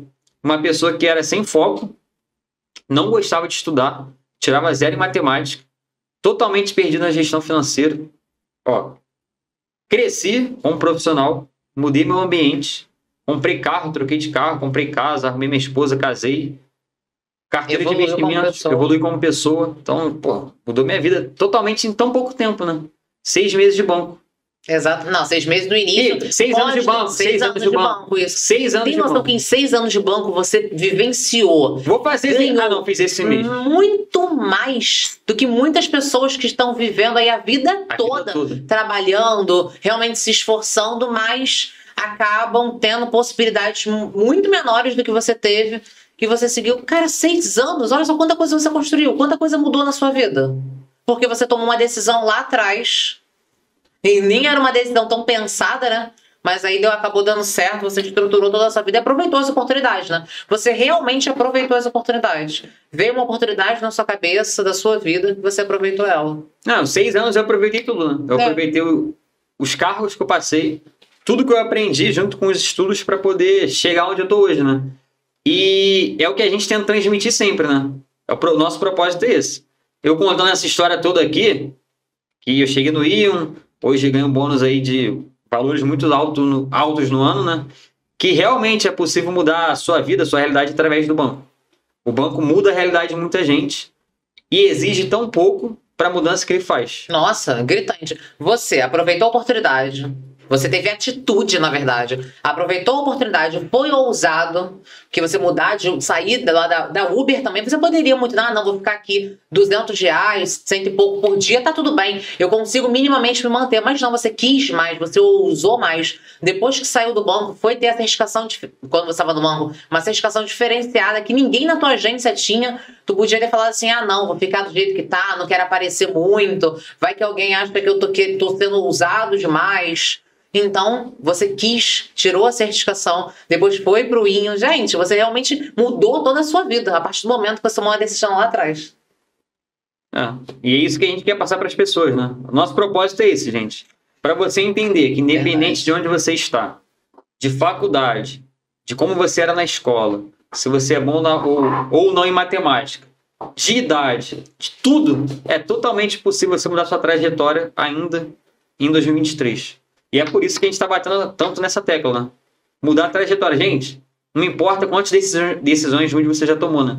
É possível mudar a rota. Com certeza. Eu consegui mudar a rota através do banco e por isso que a gente está aí até hoje espalhando a mensagem. Por isso que eu quis vir trazer a história, né? E basicamente foi isso tudo aí que eu falei. Basicamente foi isso tudo que você assistiu até agora.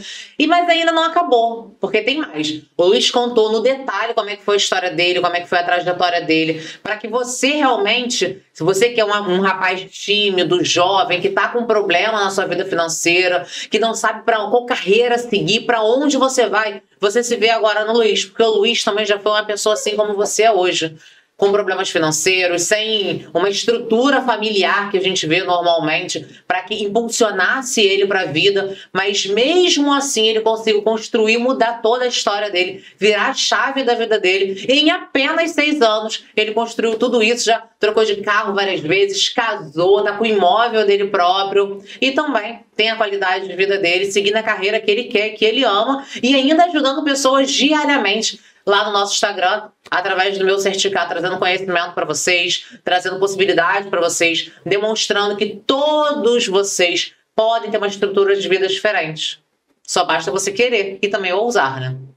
Eu acho que eu contei tanto da minha história, eu acho que eu não contei nada disso tudo aqui pra ninguém. Não, Eu acho que eu contei tanto que vai ter que ter parte 2 desse podcast. também acho que história. vai ter parte 2 para poder contar a minha. Porque senão vai ficar difícil para outros assistirem. Então é isso, pessoal. Agora vai ter a parte 2, tá? Então, eu te espero lá na parte 2. Quero muito agradecer Vamos a sua presença aqui. para a história da Letícia. É, vou te deixar curioso pra minha história, mas eu tenho certeza que você vai gostar bastante. Espero que você também se identifique, que você não cometa os mesmos erros que eu, porque eu prometo pra você que eu vou contar no detalhe tudo que aconteceu com a minha trajetória, assim como o Luiz contou com a dele, ok? Gente, contei a história para vocês completa, que ninguém sabia. Nem eu sabia tanta coisa.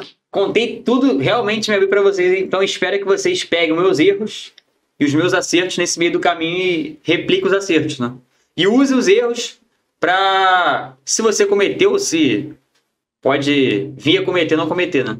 Hum, Tenho certeza que você vai usar pro, pro melhor e pra você. Verdade. E todo podcast que você assistiu agora é para que também te traga consciência e esperança de que você, independente da realidade que você tenha tido, independente da sua escolaridade, independente de você ser tímido ou não, do sentimento, da emoção que você tenha, ainda assim há tempo de você mudar e de você construir uma realidade de vida totalmente diferente para você, ok? Então eu te convido a fazer isso, dar um start na sua vida, ter uma atitude, ser um pouco ousado para poder mudar a sua estrutura de vida e daqui a alguns anos você se olhar no espelho e se orgulhar de tudo que você criou e de tudo que você construiu até então. Ok? Então te vejo na parte 2. Grande beijo. Muito obrigada. Tchau, tchau. O esforço supera o talento. Não esquece isso, tá? O esforço supera o talento, eu fui a prova viva. Obrigado pela presença, uma boa noite e até a parte 2 que você vai ficar curioso. Tchau, tchau.